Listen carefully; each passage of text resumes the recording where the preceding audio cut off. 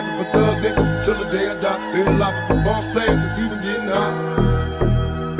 Hey, to my nigga Pac. Live my life as a thug nigga till the day I die.